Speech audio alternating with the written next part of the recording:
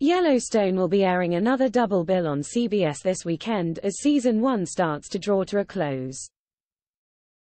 The tension will be ramping up with fans set to be left on a cliffhanger with The Unraveling, Part 1, before getting to watch the concluding half the following week.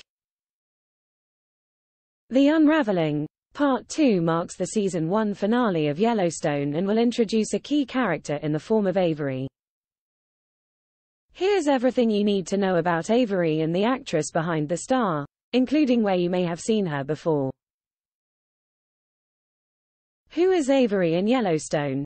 Avery is played by Canadian actress Tanaya Beatty and the character will have an interesting role to play going forward and make a surprising departure.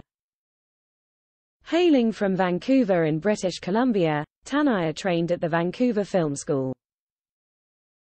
Some of her roles include playing Rachel Black in the Hollywood movie The Twilight Saga, Breaking Dawn, Part 1.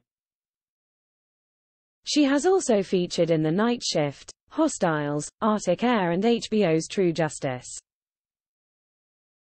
Her recurring role in Yellowstone brought her newfound fame and paved the path for roles in God's Country, Crimes of the Future and Bones of Crows.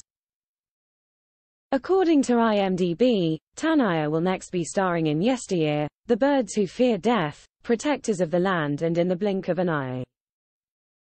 Tanaya has a mixed heritage mother is of Awatlatla First Nations descent and her father has Himalayan ancestry.